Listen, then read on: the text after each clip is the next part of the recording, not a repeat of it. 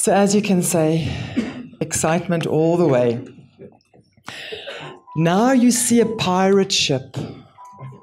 Pirate ship is going to make you wonder. So, I'm sharing a little bit of our internal jokes with you as we go along.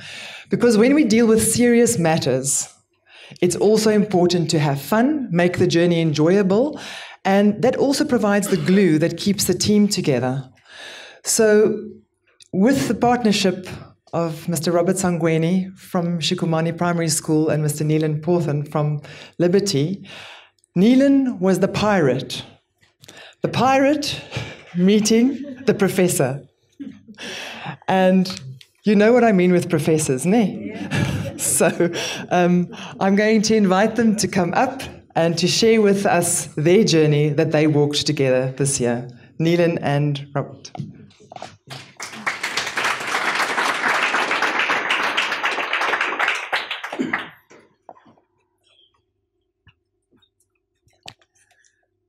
I think they must be the first time I was ever referred to as a pirate. in terms of introductions, um, let my beloved principal go first. Good evening.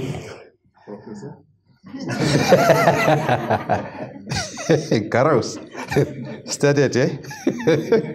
uh, it's better that you're next to Tabang. Tabang will note you and uh, you'll pay dearly for that. Uh, I'm, I'm Robert Sangweni, the principal of Shugumani Primary School. Uh, I've been a principal since 2007. And about the school, Shugumani Primary School is a quintile 3 school situated in Ekaleni section in Tembisa. I'm the only one in the Swahili group and it was established in 1971 and has a current enrollment of 1,007 learners. Right, um, I'm here with my partner, Neelan Porthen. Neelan, what you? my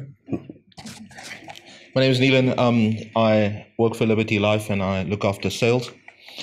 The reason I joined the group, and I think that was one of the reasons for the partnership, is you have a sense of you wanting to do it, have a challenge that goes beyond your daily routine. And I think that's the reason why this, this program is so appealing to us. Right, uh, about the school.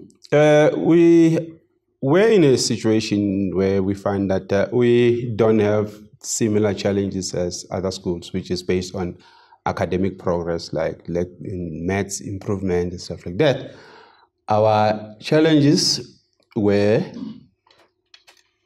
First, capacity building for both the school management team and the school governing body to make sure that when you start with the journey, you start with the basics. Learn the basics first. Put your systems in place. Let everybody know what is it that needs to be done. And secondly, the medium term strategic development.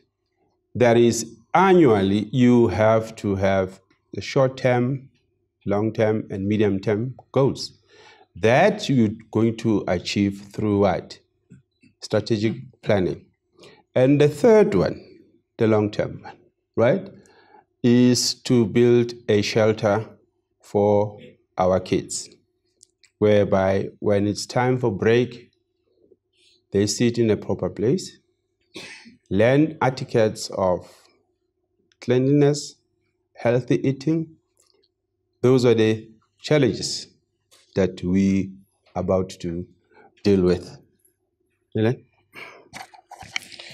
So, in terms of the um, short term goal, what we wanted to do is we wanted to implement a leadership development program for the uh, school governing body, the school management team, as well as the head of departments. And so, every, every uh, second week, what we introduced was leadership skills and we conducted sessions at the school and then the next session would happen at our offices in mainland and that culminated into the medium term plan. So what we did for the medium term plan was we hosted the school governing body and the school management team at our offices in eastgate and um, they planned for the next year meaning 2018 and beyond In terms of the long term goal and plan, what we structured was we identified the Tembisa area as a strong area for development. So if you look at where the school is located, yes, it is a township school, but in and around it was a lot of corporates. So we structured a plan to raise funds in order to sustain the idea of building that shelter for the kids as we discussed. So the medium and short term goals have been achieved, but the long term goal in terms of what we needed to do raising funds is a work in progress, as you can imagine. Right, as you can see from the video footage over there, uh, these are the evidences of the spin offs of our short term, medium term, and long term uh, uh, goals. But uh, the first one is the strategic planning, which was hosted by Liberty Life in their regional offices where we spend time looking at ourselves, doing the whole school evaluation to see where are we as a school and where do you want to go and how to go about it. Then the second one also that of leadership training at Liberty offices. One at school, the next weekend uh, at, at Liberty. And uh, lastly, what is it that we have achieved in all this, the benefits of this program? The school now has a long term plan, which is renewable or reviewed annually for the next three years, looking at our short term, long term goals. And at the same time, this goes on as part of infrastructure school meetings and training, as it was. And lastly, the results of fundraising, right? Uh, I love this man. very, very so. And uh, we have achieved uh, where Liberty has donated 30 Ks for the building, towards the building of the school shelter. Thank you. Yeah. I think when we when we started the program, we took that the benefits and we said what we want to achieve and implement is a legacy that lasts a lot longer than what you do. So if you look at the quote, it talks about Maya Angelou talking about your legacy is every life that you've touched. So we'd like to believe that we've we've done that in terms of what we've implemented. Many people say to me, "I don't smile." There's evidence that I do, and. Um, it's not so much that I don't like to smile, but uh, the equipment that I have in my mouth.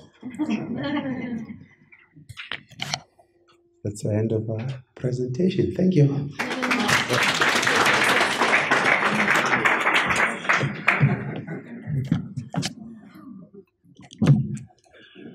So, before we let these two gentlemen go, um, just a quick story about the pirate. So, you did see that we started our uh, presentation. The informal video that Bestmed shot was a treasure hunt. A treasure hunt without a pirate is a sad state of affairs. so we had to find in this creative process, and as you'll see during the course of this evening or at the end if you're interested, we have shot three lovely videos of our year together, which is a first for me, and, and this is the fourth circle that I've, I've worked with.